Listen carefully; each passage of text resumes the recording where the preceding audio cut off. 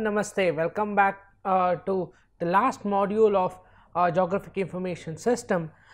Uh, this module is basically uh, uh, basically done in keeping in mind two things.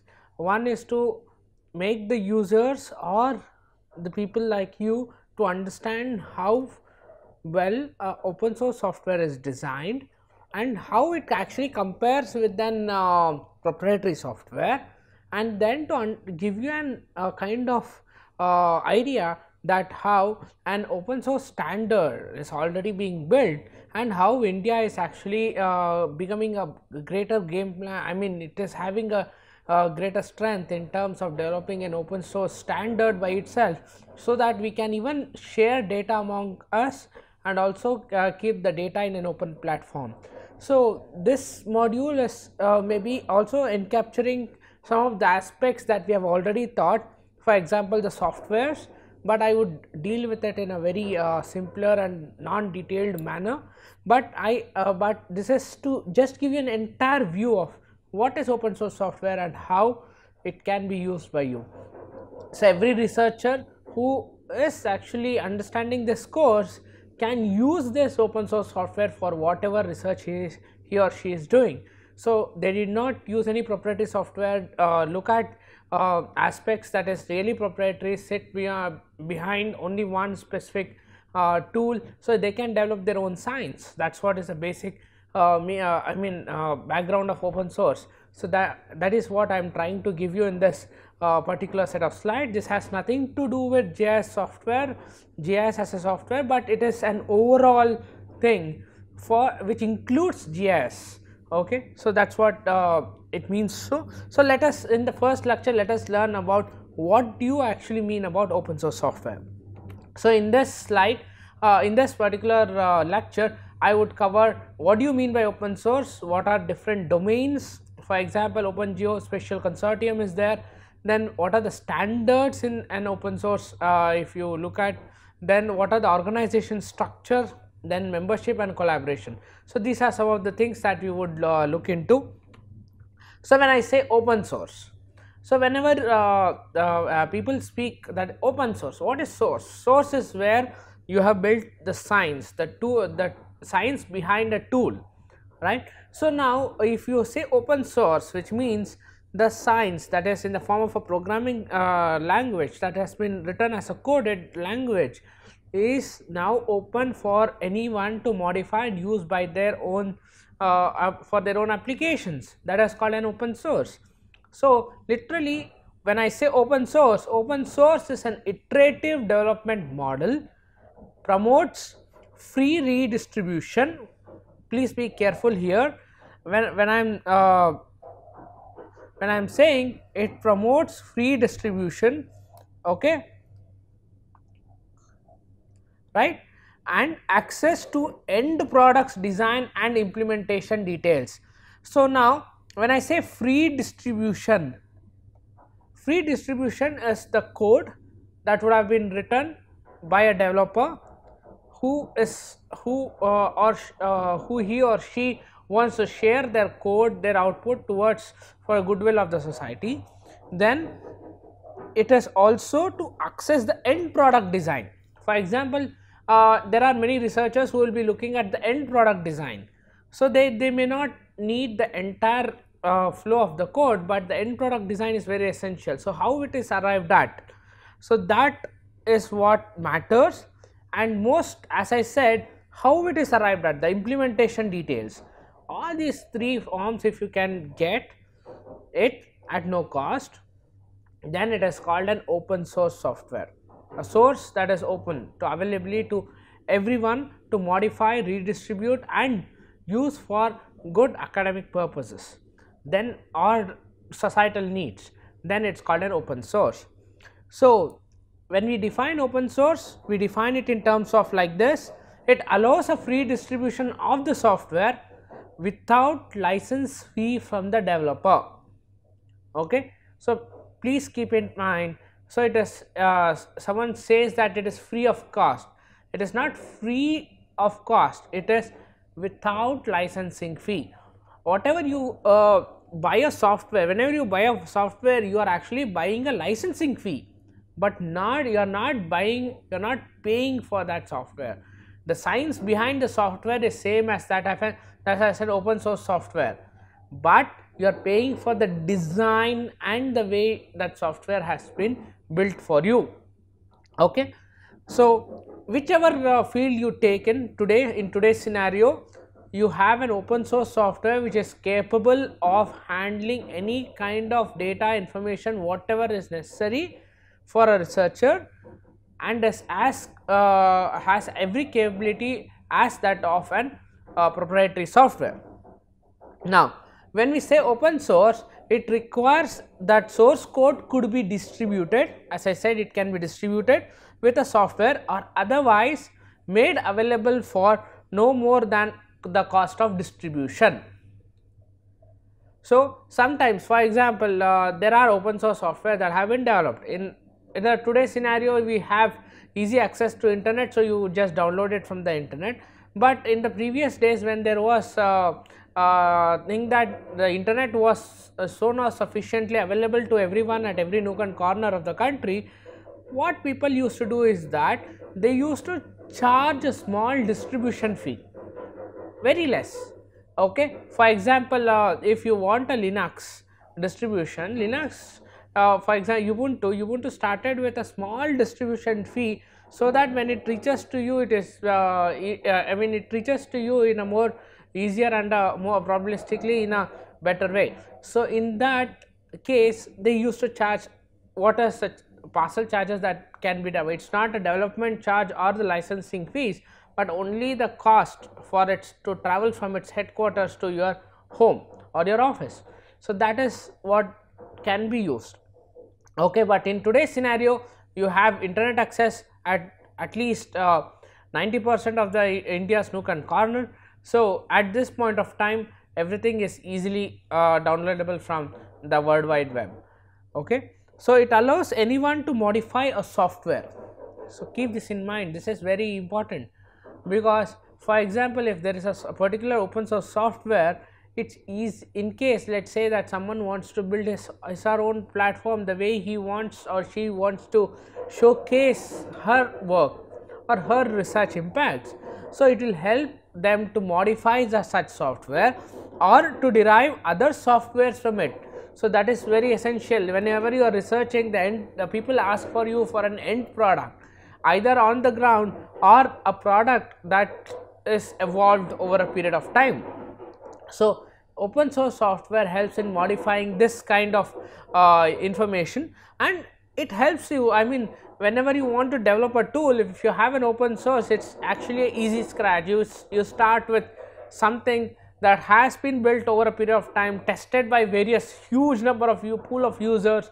Then you will take it forward. You will test your own code. You will you will test your own uh, method of analysis. Then put it out to the entire community where community tests it. And there is a huge pool of open source community where everyone tests it and gives you uh, meaningful uh, meaningful uh, results or maybe a critic. So once you have a critic uh, you will keep on improving. That's how you build an software in terms of the best uh, available softwares. That's how people have been doing all these years.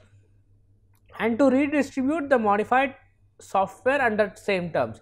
The only thing is that whenever you are using an open source software and modifying its code, you have to redistribute in the terms of the same terms as per the uh, uh, the author who has built this particular software. You cannot use your own terms, you cannot use it for your commercial gains. Okay, it has to be only in the terms of what the uh, developer has uh, tried to do. Now, coming back to uh, open source, open source has different licensing distribution model.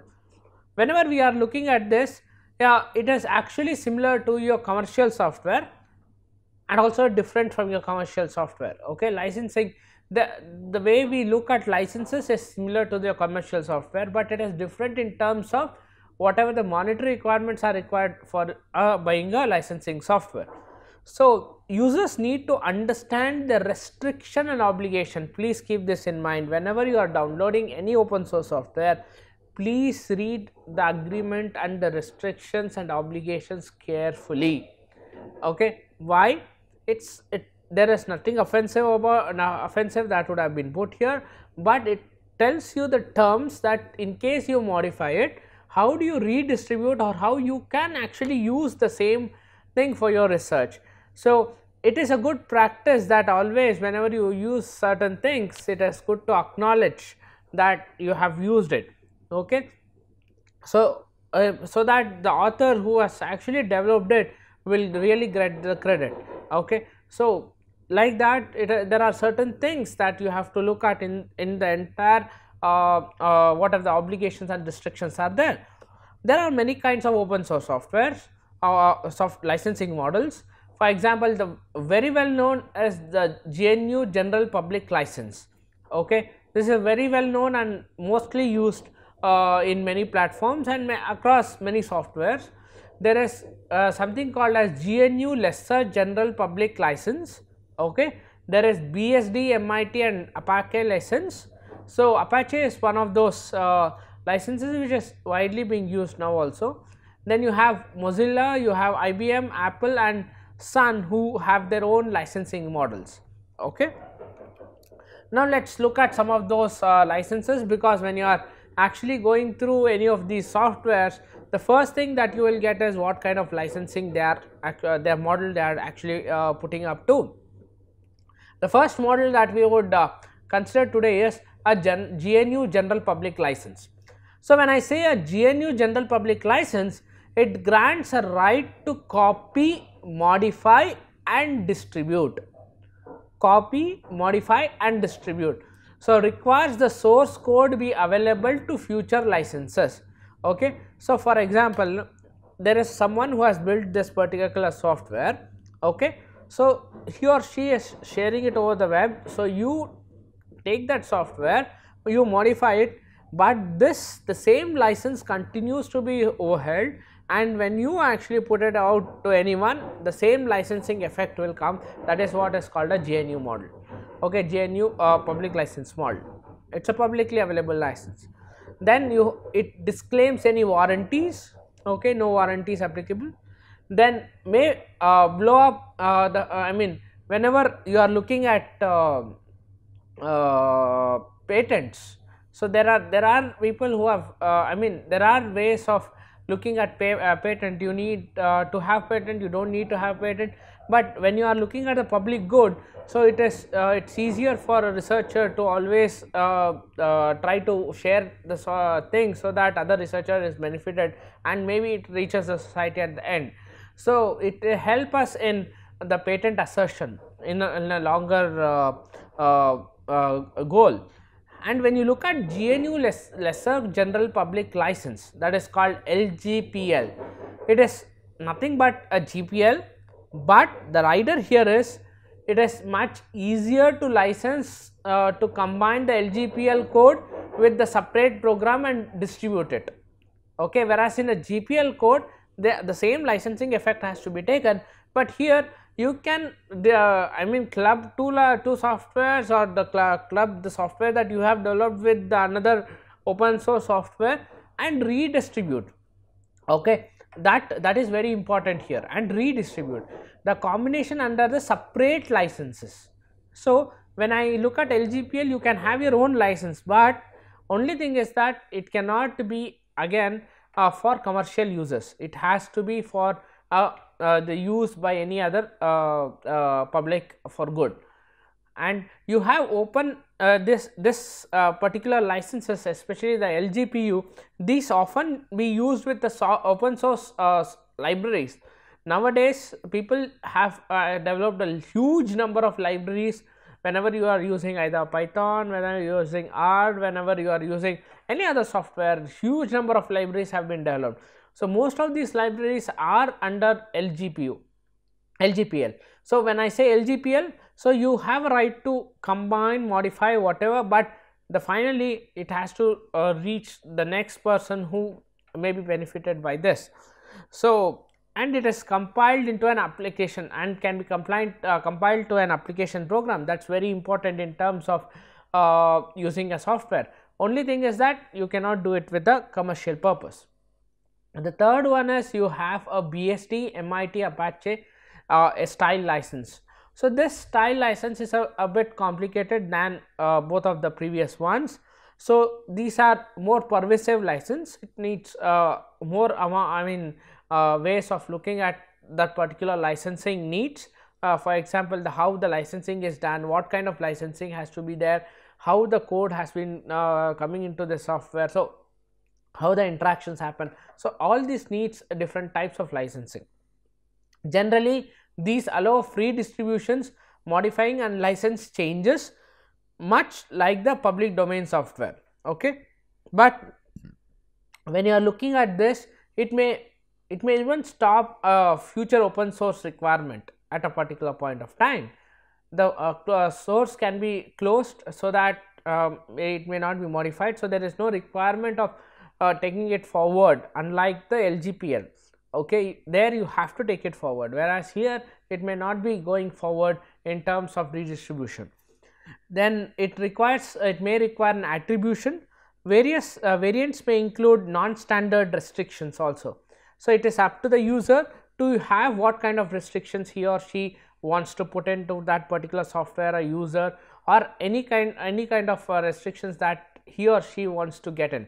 So that that is where these licenses are a bit permissive and more complex and yeah it, it, disclaims warranty as such and subject to third party patent claims. So, you can have patent claims but uh, even by third party and when you look at uh, open source softwares uh, licensing needs most of the open source softwares are licensed under the GPL based license. So, when you look at uh, BSD and MITx they have uh, less than 10 percent of the total contribution worldwide whereas uh, GPL contributes to almost close to 65 to 70 percent of the licenses that are uh, built today. Okay. Whereas, when you uh, look at uh, the source codes or the libraries that have been built uh, for various analysis that has been built with terms of LGPLs. Okay whereas uh, the softwares are built in the terms of GPL licenses. Okay. Now, where now how did this open source? Uh, so now you you understood why the licensing is important. What do you mean by open source? But why did we start an open source? So open source is basically to give a user a powerful uh, thing with without any cost. Okay, the cost of any uh, GIS proprietary software is too high when you have to handle it.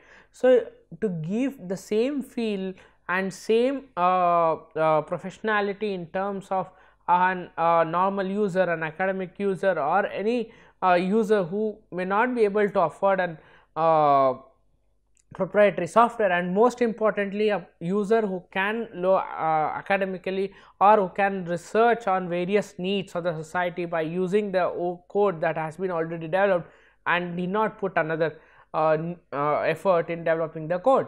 So, similarly the first thing that evolved was in 1970 where the Unix operating system most of you would not have seen it, but if you have used it was a wonderful operating system in terms of the way it used to handle data.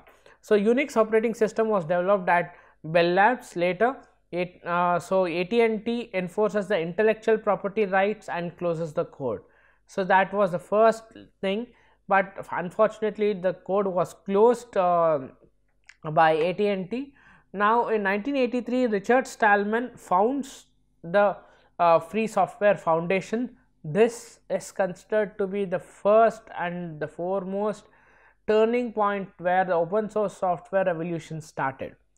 Okay, then we had Linus Torvalds. This is the first version of the Linux, and today, if you see, at least most of the servers, 99% of the servers in the world are uh, with the Linux operating system. Okay, most of them do not use a Windows software. Okay, Windows or any other kind of software. It is mostly Linux. Okay, so that's how it started evolving. It was the first linux. It was developed. It was completely in terms uh, uh, of no gui but today if you look at it as extremely uh, user friendly and uh, can boot in uh, can do any kind of uh, work that any of the other operating system can do whether it is Mac, whether it is Windows or any other operating system that you name. So. Then in 1970, 1997 Debian free software guidelines was released. This was the first in terms of guidelines where how the software can be developed, what kind of licenses can be used by those softwares and most importantly the Debian. Debian sources extension how it can be used in order to redistribute such software was first put forward. It was and if you belong to 1980s, 1990s where you were born, you would have surely heard about the Net Netscape Navigator, excellent browser that uh, was first introduced which was hugely used by everyone whether it is Windows, Linux or Unix operating system. So, that was started in 1998. So, that source was also released uh, by, uh, to the user community. So, a lot of uh, evolve I mean it evolved to a very very large extent uh, until you had a lot of other open source software uh, which was more competent released uh, somewhere in 2006 2007 and so on. Until then it was netscape navigator which actually had a, a real flavor of uh, the first form of usage in terms of software or an browser. So when we look at the entire open source development the first thing starts with the documentation. So when you have okay rather than documentation let us say a core developers first the core development happens okay then you have uh, people who will document it and people who will actually patch it. Okay there are certain documentations that has to be done when the core development happens. So that will be done by other set of people. So then they will have patchers who actually look at uh, what may be the issues in your software? Like for example there are bug reporters who report the bug. They'll test the first the beta version is released it is tested. So that will be reported if there are certain bugs when the when users use it and that is reported to the uh, uh, the uh, I mean the core developers where are the patchers who actually release patches so that these bugs are addressed or if there are issues that are addressed then once it is addressed you have a, also a stable releases which means to say that's the newer version. If you have used firefox chrome etc maybe every 15 days or 30 days you get a new version of the chrome.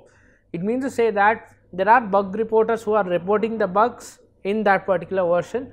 Then there are patchers who are actually patching it. So once the patching is either the patches are released directly or it is evolved into a newer version where the maintenance happens. So, you will have the newer version of the your uh, browser installed in maybe in 30 days or 15 days.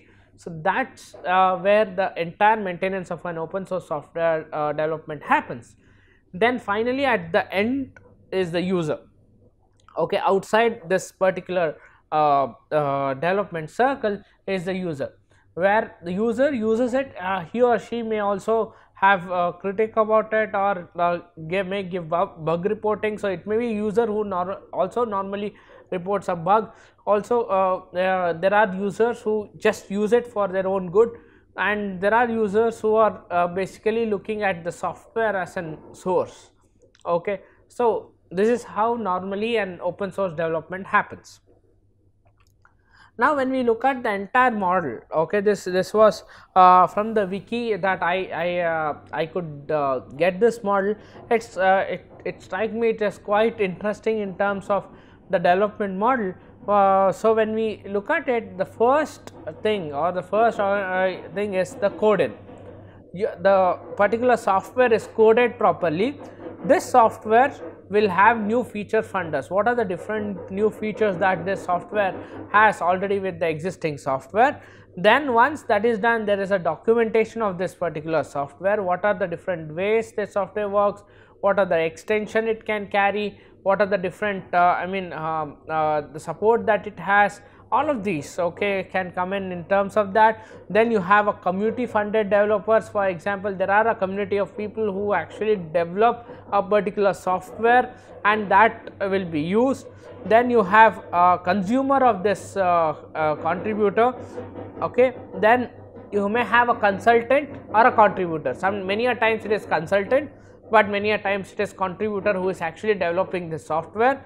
Then you have ideas and money in the code out in case you are looking at that part then there is a code and the money in which means to say that the better the code you have better the money in. So, this is the entire development model that was proposed that is actually running.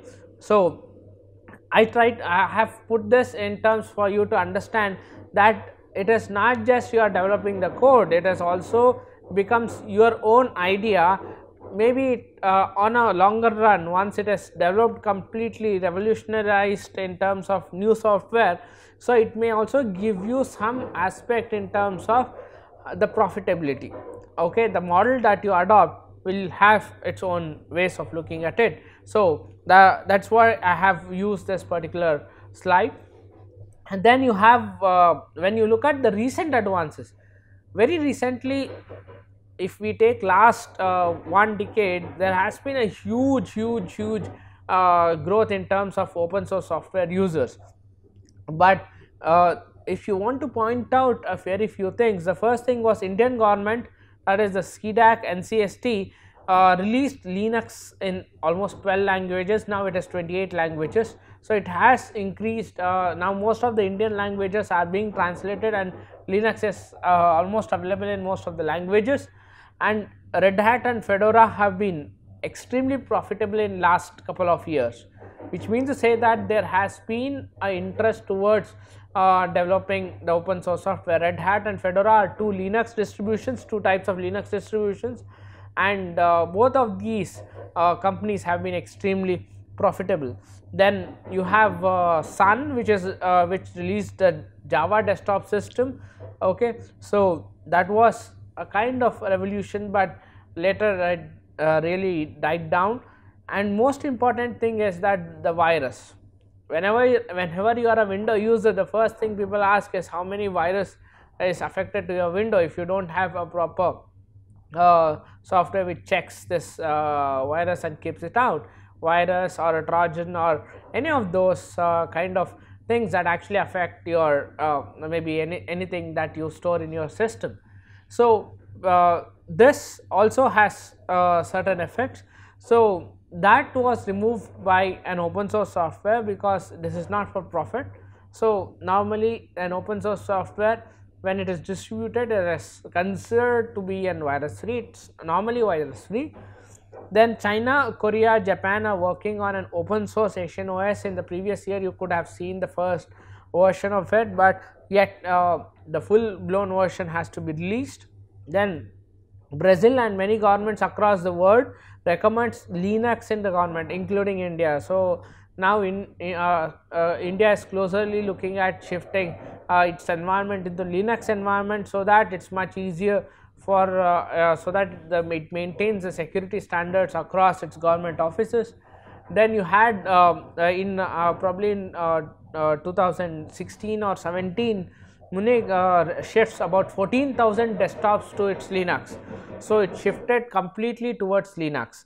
Then you had Nutch, an open source search engine. Now you have a lot of open source search engine which is uh, which is parallel to even Google. So, you can have open uh, you have uh, have parallels with Google which is uh, just giving you an open source search and you have Lindows PCs for almost closer to USD 169 dollars okay so Lindows was an alternative to Windows but had an had an open source and uh, combined the effectivity of the Linux okay so that was released for about 169 dollars and various flavor came up to 199 dollars or maybe 200 dollars when compared to other operating system the entire PC was uh, costing much uh, lesser than uh, what other operating system were.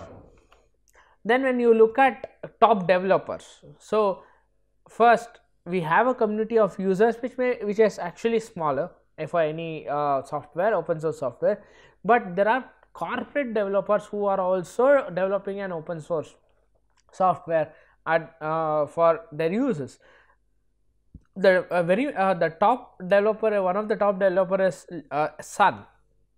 Sun by default uses linux supports some open source uh, development efforts for example for uh, forte ide for java and the mozilla web browser is from uh, sun. So, when you are looking at such things you can see that there are corporate developers who are actually developing it for their own good for their own good and the community good. And the similar if it is uh, taken to the user if the interest is shown so it can be much uh, useful for any development of the society. And you have apple it released its core layers for of mac os server as an open source bsd operating system called darwin.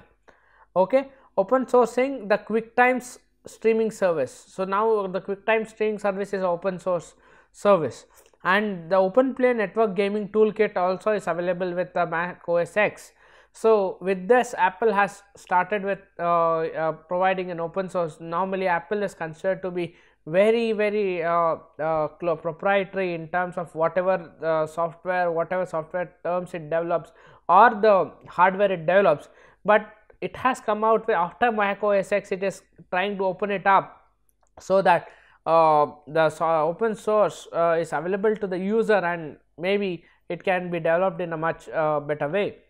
Then you have IBM uh, which uses and develops uh, Apache very well known uh, server and uh, Linux also in uh, that is called as uh, and created the secure mailer. So, if you have used secure mailer it is quite very good and created the software on AlphaWorks. Okay, so these are some of those open source things that you can come across in your if you are looking at various sources. Then you have Red Hat software, Fedora, Ubuntu, SUSE, Mint, uh, Debian, CentOS. So, all of these are Linux vendors, okay, Linux operating system vendors. Then you have ActiveState which develops and sells professional tools for Perl, Python and uh, TCL/TK developers. So, all of these uh, uh, are uh, actually uh, in the open source domain. So, these are the commercial players who big commercial players in fact who are looking at the open source domain and we will look at open source software systems basically operating systems. So, the best thing that you can come to your mind always and if you have used if you have started using open source uh, operating system somewhere in uh, 2000, 2008 2009 it was red hat so everyone started with red hat and fedora fedora was one uh, extremely uh, uh, open i mean a good operating system in terms of whatever the academic uh, needs are there. It's easier uh, as an environment.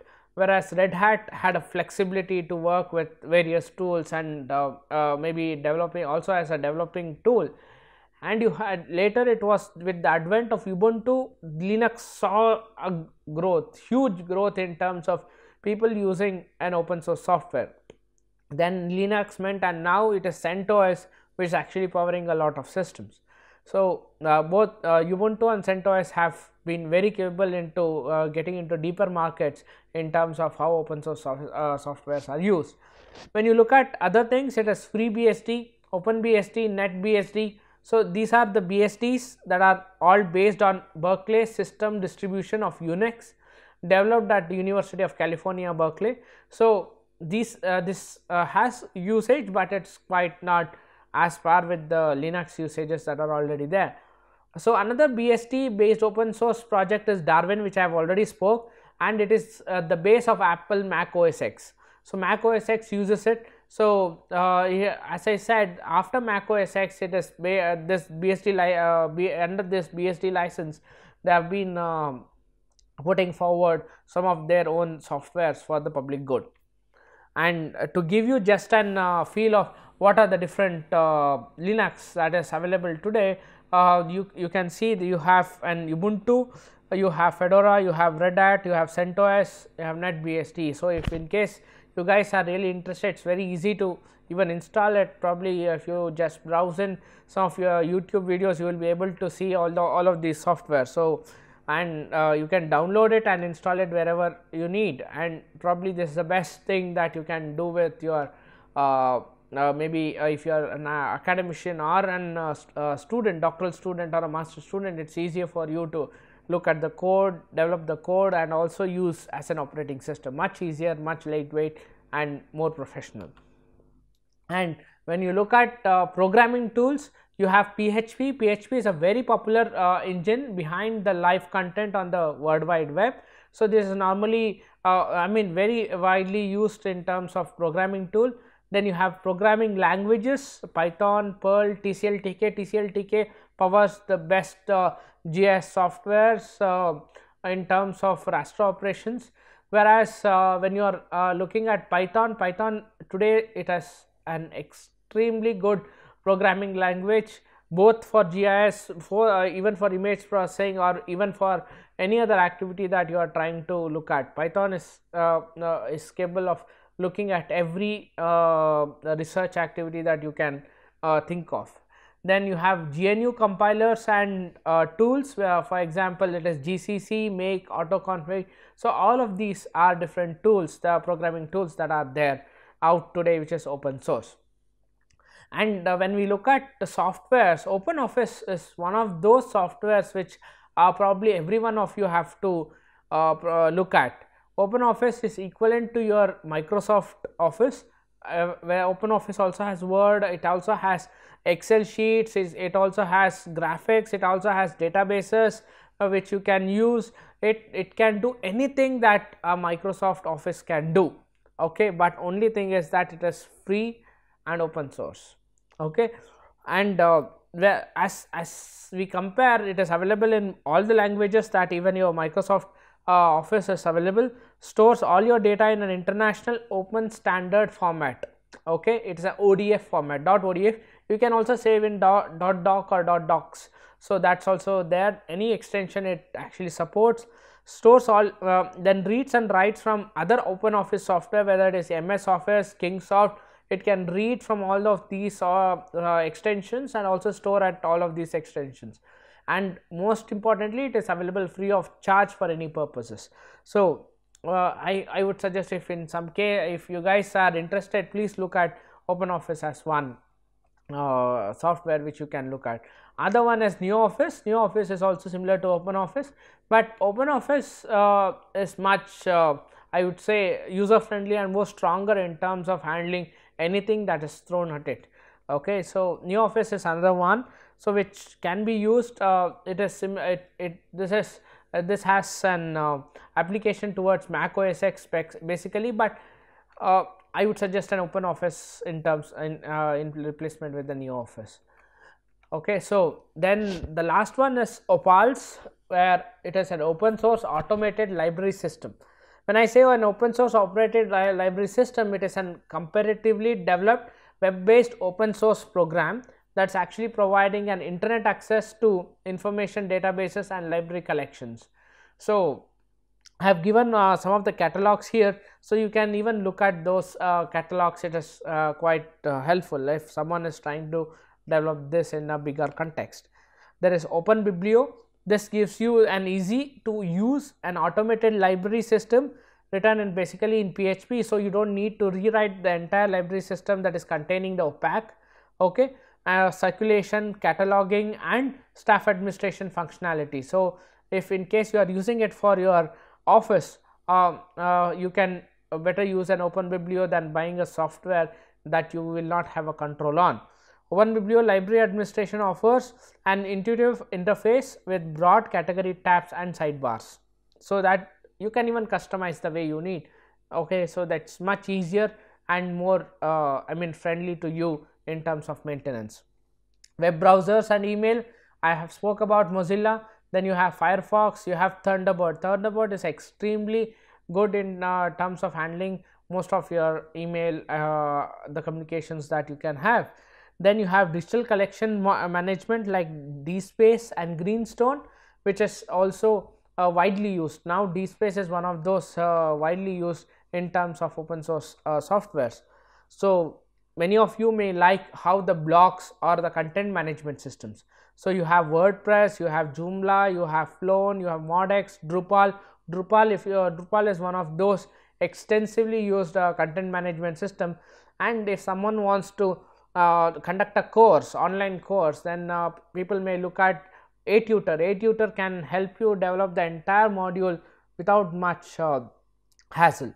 So that's uh, one of uh, one of the content management system that is available uh, as an open source software. Then uh, these are these are some of those uh, uh, which are there. I will speak with each of these. For example I, in my next class i would speak about os sim then grass then uh, geoserver would be uh, uh, I would uh, one of my TAs would speak about the GeoServer uh, probably give you a flavor of GeoServer because in today's context it, uh, it, forms a very important aspect of how you handle the data. Then you have GDAL, I will speak about GDAL in my next slides and QGIS which we have been speaking in the last 2-3 sessions. Then uh, these are the, some of the example of desktop systems. you may have heard about R, R is extremely good capable uh, software for statistical analytical or any kind of uh, uh programming it's extremely good uh, in um, uh, for uh, background i mean r is a good software.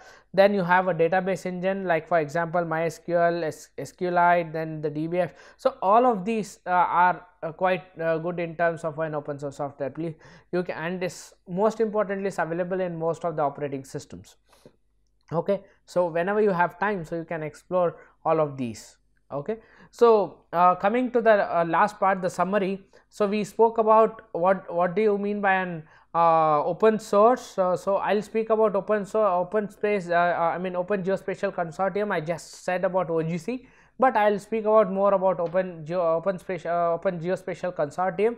Then we looked at standards the organization structures and most importantly we looked at different softwares that an open source has and uh, licenses that this particular uh, uh, software offers than it is the rest uh, uh, probably I will uh, take it up in the next class as it comes. so, we will meet in the next class we will look at OGC etc in a much better way and also some of those softwares which I have not touched here I will give you an introduction to that. Also some of the uh, softwares which are used as an urban, urban analytical tools, I will give an example of all of these. Thank you very much.